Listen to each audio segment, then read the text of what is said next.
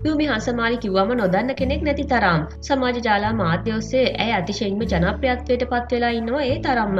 ඇය කරන කියන එකෙක් විලාසිතා වගේම ඇගේ ජීවන රටා වගේම ඇගේ නොයකුත් විවේචන නිසා හැමදාමත් ඇය බුකියෙක් කතා බහට ලක්වනවා. නමුත් ඇය ලංකාව නිරූපණ ශිල්පිනියෙක් විදිහට වගේම රංගන ශිල්පිනියක් විදිහටත් එක්තරා නමක් දෙනාගෙන තියෙනවා.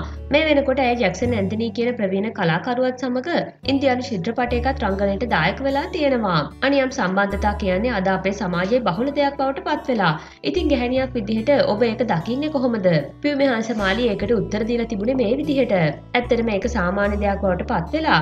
ඒක ගැහැනියකගේ කැට හෝ ලස්සන මත තීරණය වෙන්නේ කියන එක නම් මං හොඳටම දන්නවා. ඉටි රූපයක් වගේ ගැහැනියක් ගෙදර හිටියත් පිට යන එක අනිවාර්යයෙන්ම පිට යනවා. හැබැයි එහෙම උමනාවක් නැති මිනිහා ඉටි රූපයක් වගේ ගැහැණු හොයන්න යන්නේ නැහැ. මම විවාහ වෙන්නේ අවුරුදු 19 මම ජීවිතේ ආපස්සට හැරිලා බැලුවම මං හිතන්නේ මට ජීවිතේ වැරදුනා මට සතුටු යම්කිසි කාලයක මම වයසට කියත් මට දුක නැහැ මාව බලාගන්න මට දරුවෙක් ඉන්නවා.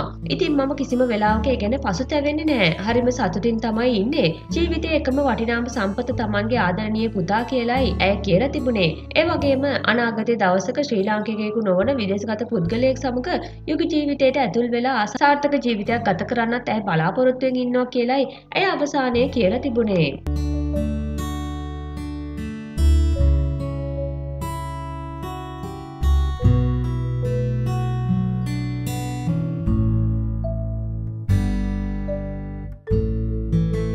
අපේ